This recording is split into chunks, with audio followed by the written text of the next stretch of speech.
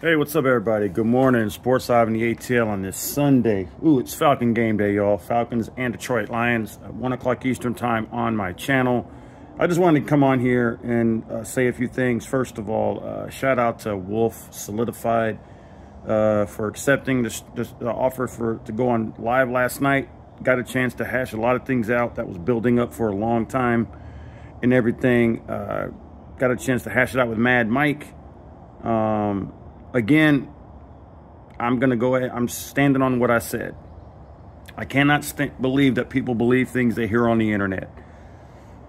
I'm not one of those type of people to say things derogatory like that about somebody.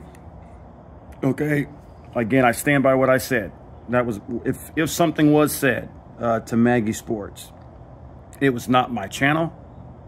It never came from me. And I suggest that you you guys, if you hear anything uh, and you see a channel, you want to you want to make sure you look at it first. You know, you can click a channel and see if it's the real person. I don't care about a still picture or whatever. I know that I never said nothing about that woman. I don't even watch her channel. Okay, so it just amazes me that people believe anything that they hear from other people on the internet.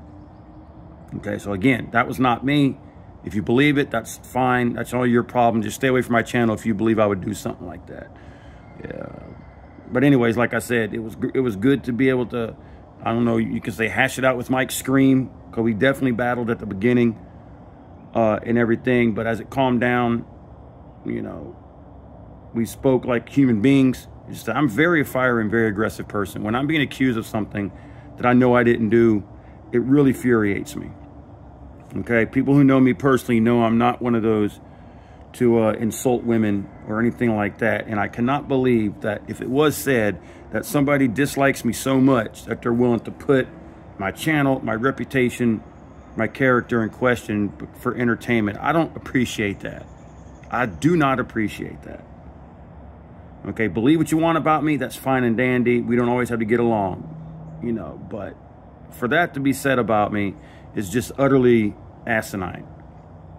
I can look at myself in the mirror and lay my head on the pillow and sit right here right now knowing that it was not me. I'm not going to keep talking about it, but I do want to make this final video, you know, saying that it was great to go on the panel at Wolf Solidified. Go check it out. It's still up. At the beginning, me and Mike went at it, you know, and then we were able to talk football afterwards because I, I, I said this before. If something was really said about somebody like that, why would somebody want to do something with me? Yeah, I wouldn't, if somebody insulted somebody close to me, there ain't no way in hell that I would uh, uh, be willing to forgive. I'm just saying, Mad Mike, I respect what you do as a fan and everything like that as your team, but uh, you know, man, you know. Now, please respect and honor what we agreed. I took down my stuff, handle yours, and then we can continue talking in the future. But it was a fun panel and chat, man. After everything calmed down, people got a chance to hear about my knowledge about the team. I got a chance to hear other people's knowledges about the team.